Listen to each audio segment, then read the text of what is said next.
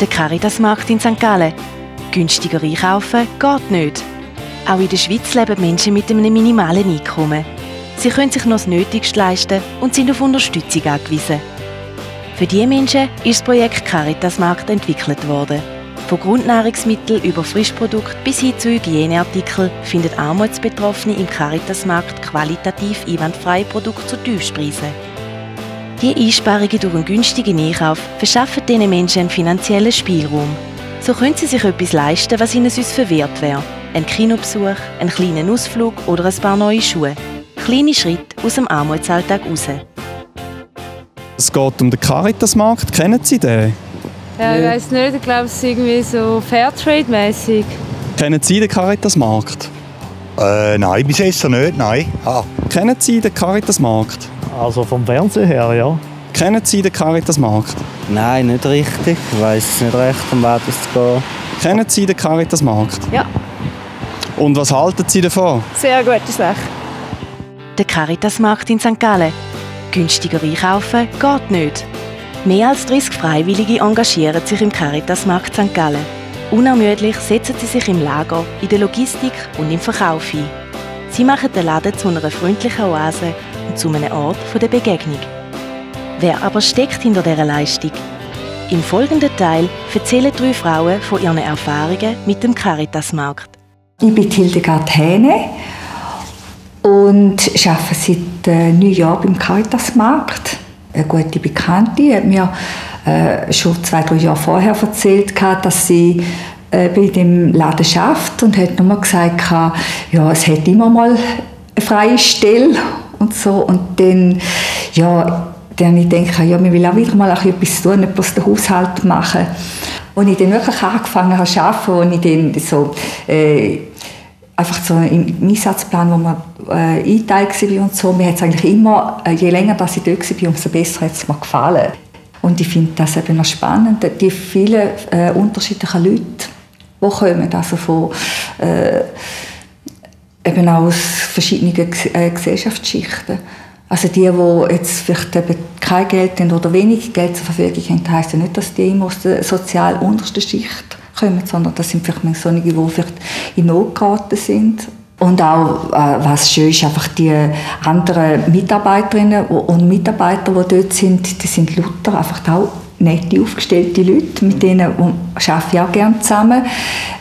Und, äh, und ich finde, man muss ja irgendwo arbeiten oder etwas machen, was einem, was einem gefällt, wo, wo man irgendwie, wenn man am Abend fertig geschafft hat, dass man dann das Gefühl hat, ah, es war wirklich schön, heute Nachmittag zum Tag zu sein und, und man zufrieden ist. Und äh, auch wenn, wenn man jetzt halt nicht eigentlich einen Lohn mit heimnimmt, weil ich finde das eigentlich das Unwichtigste am Ganzen, wenn man nicht darauf, wenn man nicht darauf angewiesen ist, dann kann man etwas auslesen, was einem einfach gefällt, was einem persönlich etwas gibt.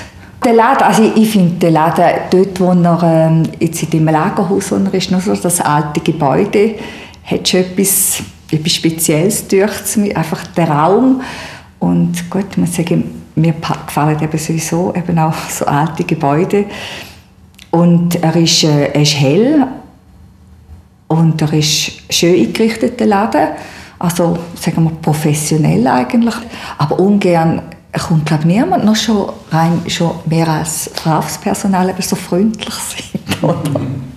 Dass dann eben ähm, vielleicht wie uns kommen.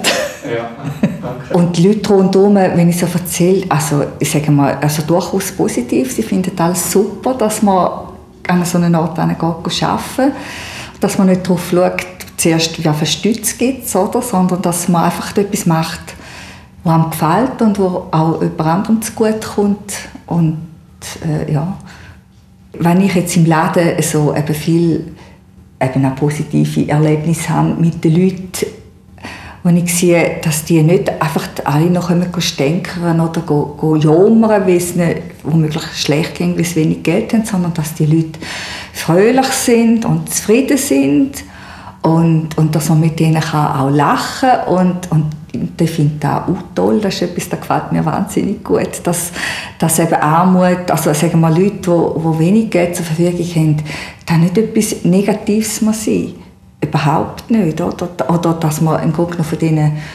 direkt etwas lernen kann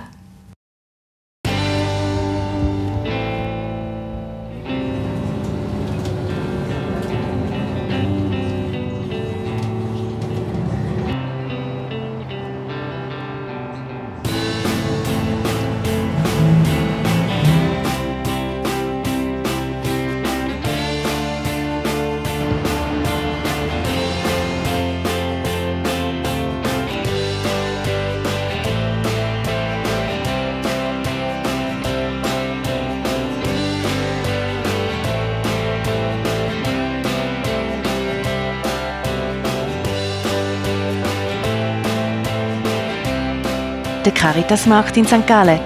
Günstiger einkaufen geht nicht. Ich war immer arm. Ich habe einfach ich bin, vier Kinder und kein Mann und ein bisschen geschafft und also auch nicht voll, also immer ein bisschen, etwas Kleines. Einfach immer arm am Existenzminimum. Geld, das ich noch ist einfach alles in meine Kinder investiert. Und das ist halt so, dass man nicht fürs Halt und ich bleibe auch arm, aber ich meine, eben, wie man so kann essen und also ich meine, man ist ja nicht richtig. Und eben auch sozial, eben, wie man kann ins Theater, das ist wichtig.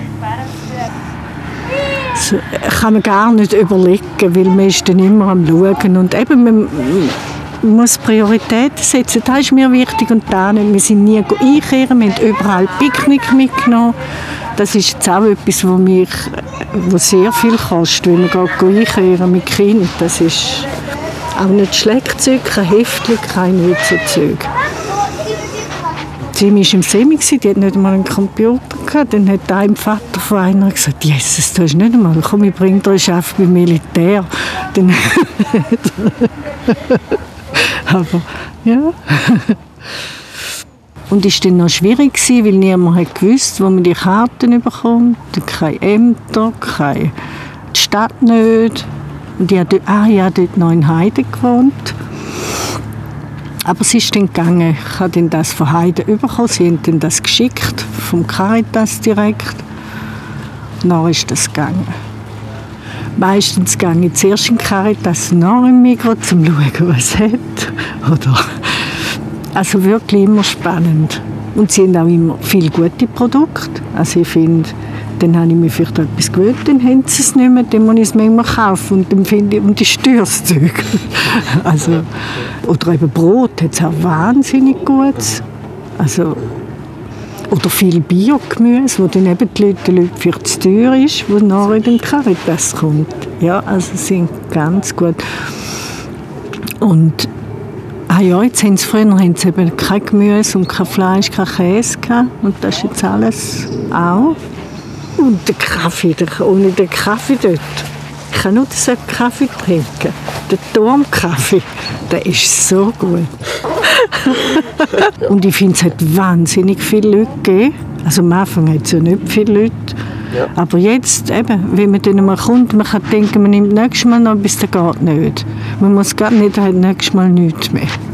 Das ist ganz äh, verrückt. Er läuft wahnsinnig gut, hat wahnsinnig Leute. Ich meine, oder dann hat man wieder mehr Geld für mal etwas anderes. Also, ich habe schon noch gerne mal etwas Schönes, wenn ich mir irgendwann mal etwas leiste. Zum Beispiel mal ein Freitagtasche oder so, irgendetwas Luxuriöses, wo, ja,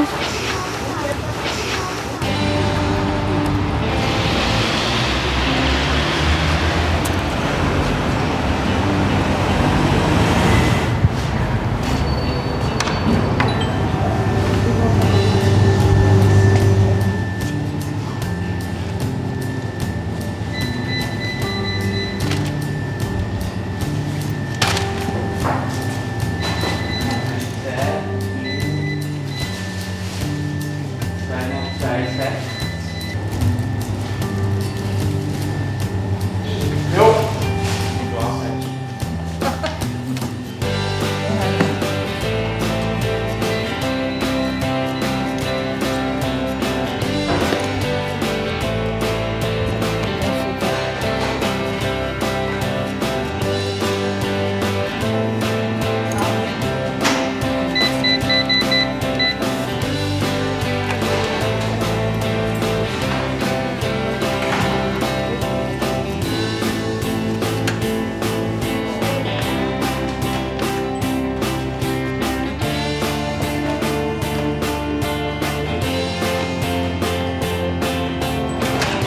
Caritasmarkt in St. Gallen.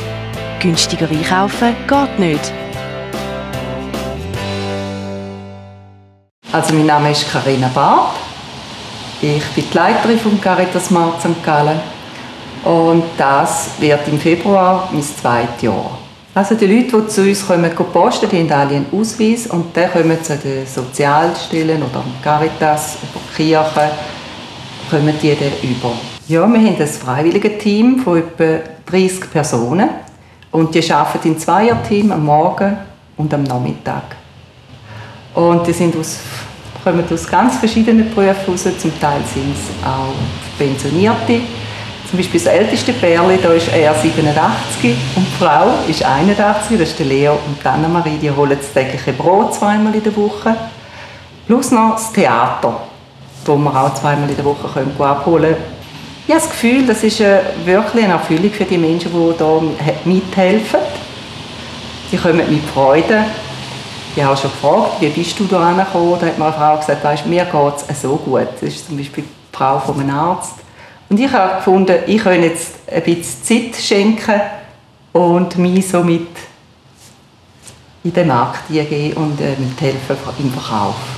Positiv im Moment finde ich, dass man Früchte und Gemüse können zum Einkaufspreis verkaufen können.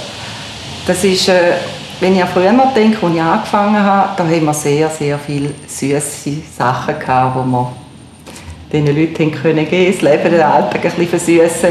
Jedoch, wenn ich dann ein bisschen an Gesundheit gedacht habe, habe ich manchmal schon ein bisschen auch ein schlechtes Gewissen gehabt, weil ich denke, das Süße, da braucht er dann irgendwann vielleicht wieder einen Zahnarzt und die Menschen können dann den Zahnarzt nicht zahlen.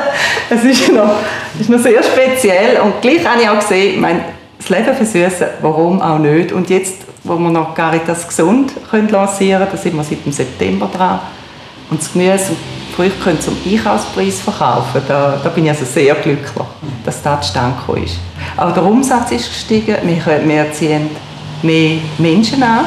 Was ich mir wünsche, ist schon, dass wir noch ein bisschen breiteres Sortiment haben und das auch regelmäßig anbieten können. Sagen wir jetzt mal mit Babynahrung oder so. Und dann hat es einfach wieder keine. Oder? Und das finde ich manchmal ein bisschen schwierig. Jedoch, wenn man es den Kunden erklärt, dann sagen sie auch, ja, nu, dann nehmen wir halt, wenn sie es haben. Letztens sind ein paar junge Leute angeklappt und dann habe ich gesagt, ja, hallo, hoi miteinander, was, was geht an? Und dann haben sie gesagt, ja, sind wir noch einen Karren voll wahr? Und ich sage, ja, wahr, was haben wir denn? Ja, lauter Lebensmittel, die sie äh, gesponsert bekommen haben für einen Anlass und es alles noch gut, ob wir das möchten haben, um weiterverkaufen. Und dann habe ich gesagt, ja okay, aber das lohnt sich jetzt nicht für die Warenakquisition. Haben die Sachen reingenommen. Das hat jetzt für eine ganze Woche gelangt, um wieder das Sortiment so ein bisschen auffrischen, ein, ein breiteres Sortiment zu haben. Und es war wirklich eine Freude. Gewesen. Sie haben das von Herz, hast richtig gemerkt, dass sie mit dem Herz dabei und ja, statt das irgendwo wegwerfen. Kennen Sie den Caritas-Markt? Ja, ich kenne den Caritas-Markt. Von wo denn genau? Ja, von der, von der Gas und so. Ich war vorhin auf der Gas und jetzt äh, nicht mehr. Ich denke, dass es eine gute Sache ist. Ja, was soll ich sagen? Es könnte anders sein, aber es ist gut. Also ich habe auch Kollegen, die dort gehen posten und es, ich bin eigentlich froh, gibt es so etwas, ja. Ich finde das gut. Das finde ich super sogar. Ja. Die haben ja wahrscheinlich auch weniger, oder? Von denen ja wahrscheinlich nichts. Und ich finde das gut, dass sie das machen ja. Der Caritas-Markt in St. Gallen günstiger einkaufen geht nicht.